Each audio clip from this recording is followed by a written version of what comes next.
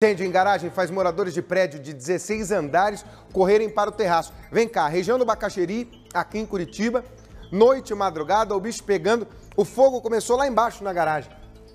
A fumaça, claro, ela é menos densa do que o ar, ela é quente, ela sobe. Ar quente sobe. E foi-se embora, foi tomando conta de todo o prédio a fumaça.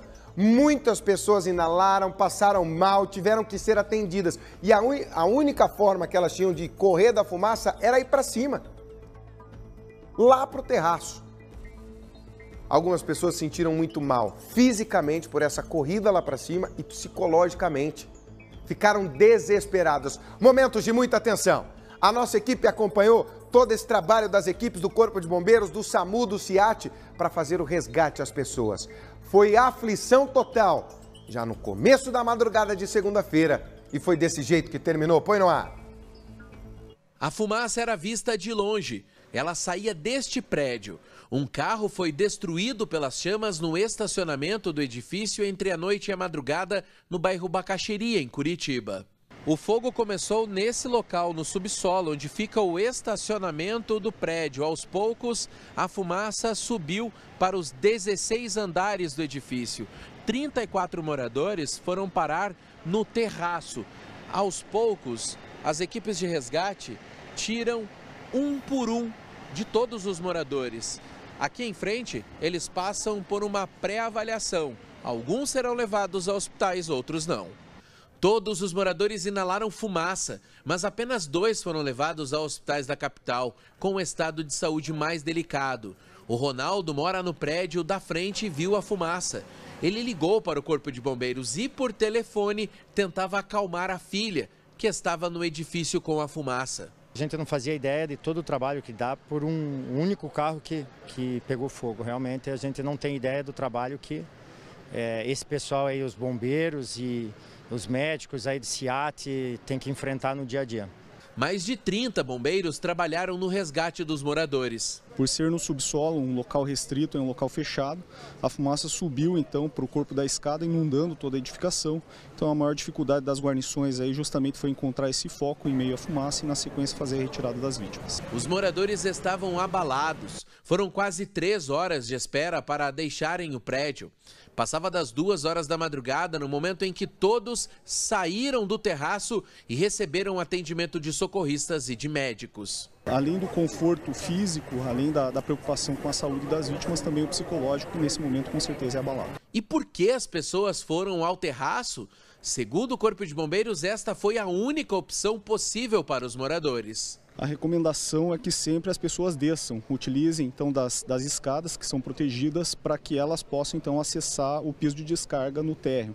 Nessa situação específica, a dificuldade dos moradores foi justamente porque o corpo de escada foi inundado por fumaça, então eles também não conseguiram descer. Então por isso eles subiram, foram até a cobertura, então o nosso trabalho foi concentrar as vítimas lá até que a gente pudesse fazer a retirada da fumaça, a ventilação, então na sequência trazer as vítimas para cá para triagem médica. Pai do céu, é isso, né? Nessa hora do desespero, você quer correr para um lugar em que você possa respirar.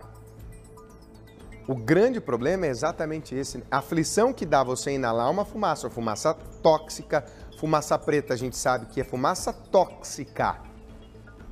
Que ela tem ali algum tipo de problema.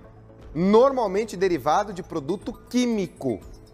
Pode ser isopor que, eh, que tem para fazer isolamento em algumas partes do carro, pode ser o tecido. Se for o couro, pode ser o couro. Pode ser a espuma que tem nos bancos, pode ser a espuma que tem no volante. Se for fogo no motor, os componentes do motor, as partes de borracha que você tem dentro de um motor, de plástico que você tem, tudo isso. E essa fumaça, ela tem um grande problema ela vai para dentro do pulmão e, e, tem ali, nosso pulmão formado né, por alvéolos pulmonares, ela gruda nesses alvéolos pulmonares, faz uma cola ali dentro. E isso vai tirando a consciência da pessoa, que você vai tendo menos oxigenação, menos oxigenação no cérebro e desmaia.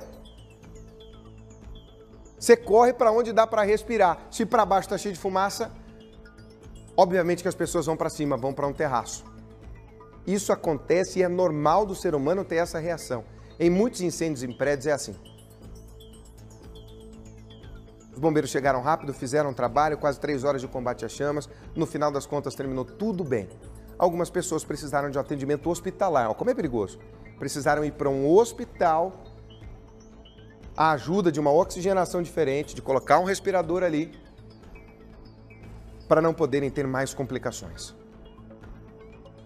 Realmente é perigosíssimo essa história de incêndio, gente. E é muito rápido, tá?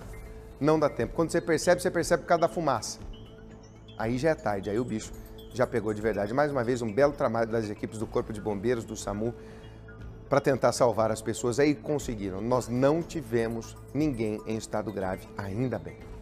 7 horas e 9 minutos.